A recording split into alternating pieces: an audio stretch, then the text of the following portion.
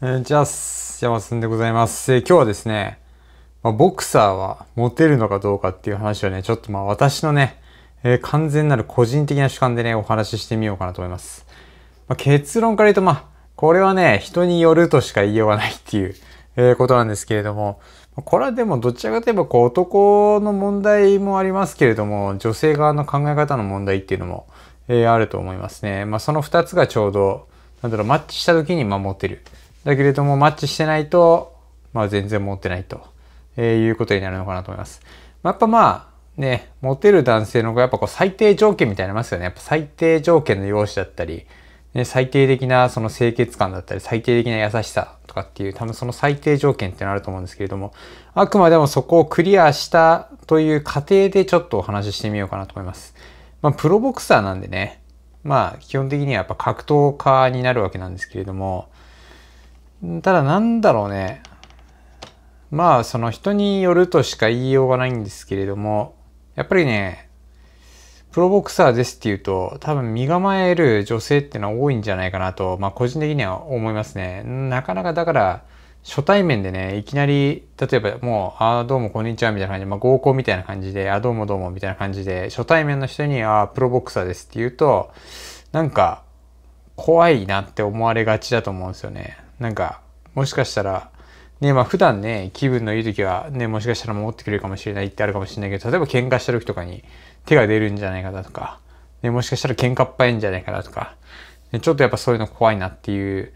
のが多分あると思うんですよ。まあこれはね、まあ格闘家に限らずね、ボディービルダーとかもそうかもしれないですけど、やっぱりそういうところでの、まあ怖さっていうのがあって、なかなかね、初対面の人に、ね、プロボクサーですなんて言うのは、えー、どうなのかなっていうことで、まあ私はですね、あの、そういうことはもう言わないように してます。で、例えばじゃあ、あの、まあ合コンに行きました。まあ趣味とかこういう話になった時に、いや、実はボクシングやってるんですよ。なんてことは一回もね、もうね、言わないようにします。大学生ぐらいの時はね、あの、ボクシング部なんですよ、なんてこと言うんですけど、調子乗ってね。調子乗って言うんですけど、結局ね、なんか惹かれるだけなんで、まあ、もうあの言わないようにしてですね、あのまあ趣味でフルマラソン走ってますってね、まあこれ嘘じゃないんでね、年に一回フルマラソン走ってるんで、まあ、あの趣味で、まあ長距離走ったりしますぐらいの、その時にはそのぐらいのね、まあ軽いトークで行って、でまあ後々、まあ最終的になんかこう、例えば LINE とか交換した時とかに LINE のホーム画面がね、まあ私あのボクシングの時の写真なんで、あれ、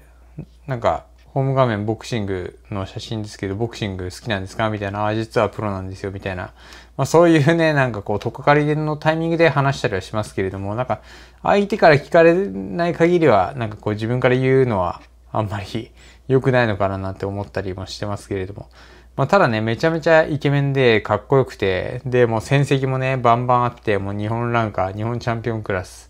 の人はね、まあ、全然自分からね、そういう話をしてもいいのかもしれないですけれども、私みたいにですね、えー、まあ4回戦のボクサーはですね、なかなか自分から言うのはですね、あんまり良くないんじゃないかなと。で、ましてやね、もうプロでもない人であれば、ちょっとなかなかこうね、えー、趣味でボクシングやってます。まあ、そのボクサイ制度だったらいいかもしれないですけど、プロボクサー目指してますぐらいの、えー、いうことを言うのはなんか、どうなのかなって、な個人的にはね、おすすめはしないですよね。で、なんかね、一番ムカつくのがね、あの、これちょっとムカつく話になっちゃうんですけど、あの、キックボクサーがモテるのがムカつくんですよね。なんかね、あれ何なんだろうね。ほんとね、あの、キックボクサーですっていう話だと、いや、キックボクサーかっこいいみたいな、付き合って、みたいな感じになるんですけど、いや、プロボクサーですって言うと、え、何？怖 ?DV すんの？みたいな。なんかそういうね、腹立つよね。あれ何なんだろうね。やっぱキックの方がね、スマートでね、あのイケメンでかっこいいっていう、なんかそういうのが相場ですよね。だけどボクサーはなんかどちらかといえばどうなんだろうね。やっぱボクシングで距離感近いじゃないですか、キックに比べて。キックはね、前蹴りがあったり、ね、その蹴りがあるから、ちょっと距離が離れてるじゃないですか。だからなんかちょっとスタイリッシュなね、えー、感じに見えるんですけど、ボクサーになるとやっぱ腕のパンチになるんで、距離がね、近くなっちゃうんですよね。だからそうするとやっぱこうね、ガツガツいく、えー、ガツガツ喧嘩するみたいな、なんかそんな風に見られがちなんで、なんかちょっと、え？みたいな。TV するの？みたいな。なんかそんな感じで思われるのがね、あれめちゃめちゃ腹立つんですよね。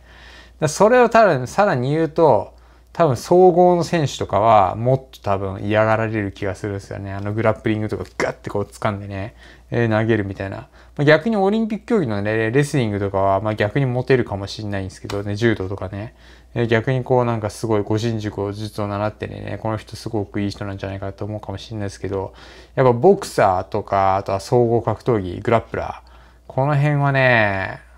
モテないんじゃないかな。キックボクサーとかに比べてね。だからもうほんとね、私はキックボクサーがモテるのが一番腹立つんですよね。だってボクシングはさ、ちゃんとオリンピック競技でさ、で、世界中の人がやっててさ、で、まあメキシコとかアメリカとか、まあすごい人口が多いわけじゃないですか。だけどキックボクシングってどちらかといえば日本の競技ですよ。ね、だから日本のチャンピオンイコール世界チャンピオンみたいな、なんかそういう感じなんですけど、やっぱボクシングはね、やっぱ世界チャンピオンってなると、もうすごい、え、富と名声が得られるんでね、だからなんかボクシングの方はキックボクシングよりも個人的にはね、格は上だと思ってるんですけど、だけどいざね、まあ女性に、対女性に関してはもうキックボクサーの方が圧倒的に上なのかなと、えー、個人的には思う、それがね、一番腹立たしくてね、腹立たしいんですよね。だから、まあね、那須川天心選手がね、ボクシング転向してきた時はですね、私はすごく嬉しかったですね。はい。なんかね、このままなんかキックボクサーとしてね、モテモテ街道でね、タケルみたいな感じでね、行くのかと思いきやね、ボクシング転向っつってね、はい、うわーもうね、ガチムチボクシングに来たか、みたいな、さすが那須川天心っていうような感じだったんですけれども、はい、まあそんな感じですよね。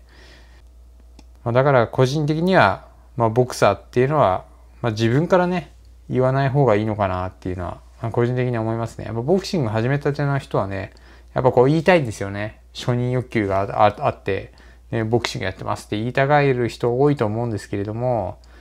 まあそれはもうなんかミーハーみたいな感じになっちゃうんで、まあ自分から言うのはなんか控えた方がいいのかなと思いますね。で逆にこうなんか周りからね、こいつ実はプロボクサーなんだよみたいな風に言うとなんかちょっとおおみたいな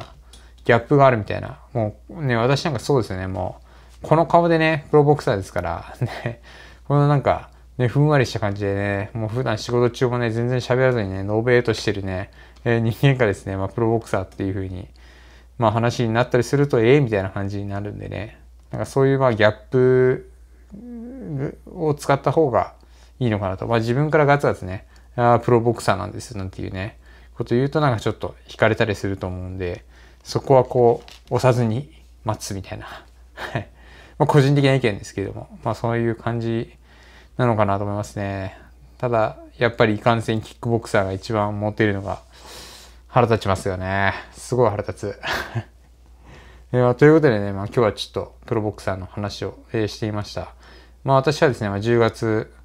8日ですね、えー、岐阜県の方で試合がありますんでですね、まあ、ぜひ、え応援の方よろしくお願いします。